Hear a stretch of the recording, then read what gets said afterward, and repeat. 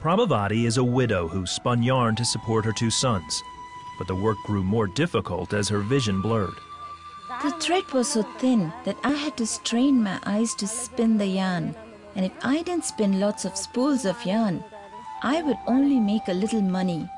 So many times, all we ate was one bowl of rice a day. Without a pair of glasses, she wouldn't be able to make enough to buy food, clothes, or keep her sons in school. But glasses cost as much as two months' worth of food.